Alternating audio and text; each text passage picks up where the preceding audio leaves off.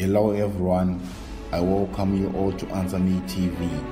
For those of you who haven't subscribed to my channel, please do so by smashing the subscribe button and turn on the notification bell so that you won't miss any of my updates.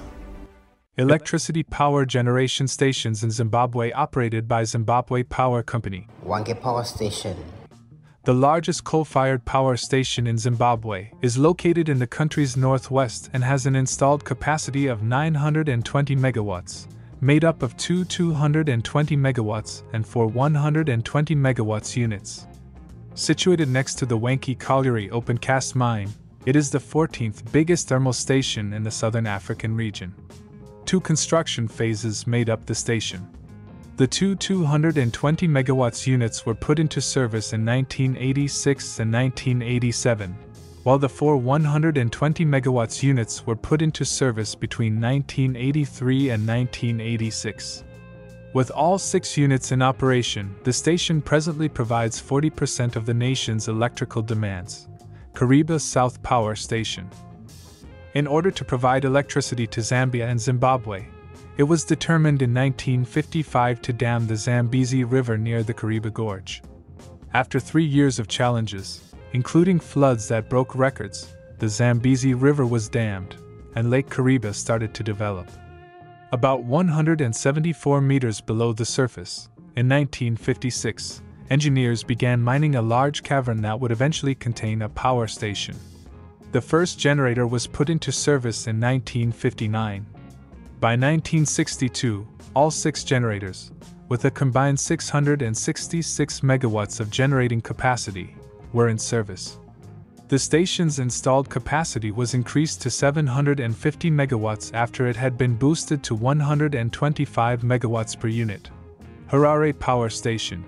This power station is situated on Coventry Road in the Workington neighborhood of the capital city. With a 21 megawatts capacity, Station 1 was put into service in 1942 and shut down in 1970. Station 2 was derated to 20 megawatts from its original 75 megawatts capacity when it was first put into service in 1955 because of unprofitable units.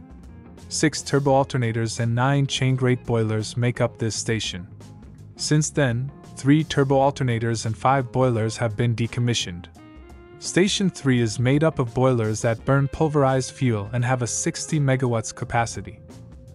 Additionally, the station includes two sizable turbo alternator units that each generate 30 megawatts. Bulawayo Power Station. Bulawayo Power Station, situated in Zimbabwe's second largest city, is wired to the national grid at 11 kV and 33 kV voltages. The station was put into service as a project by the municipality of Bulawayo between 1947 and 1957. With an overhaul in 1999, the aging Bulawayo Power Station, which had an installed capacity of 120 megawatts, was given new life. Currently, the station can handle 90 megawatts.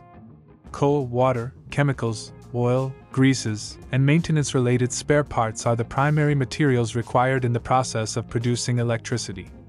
Currently, the station produces 30 megawatts on average. Munyati Power Station Is located at the 183 kilometer peg, 5 kilometers off the Harare Bulawayo Road. The thermal station was constructed gradually between 1946 and 1957 with a 120 megawatts initial capacity and a 100 megawatts operating capacity today. About 618 kilometers distant, and coal is railroaded. The boilers are designed to burn washed peas coal. Two sources of water are used a 23 kilometer canal from the Sebakwe River and a 3 kilometer pipeline from the Munyati Weir.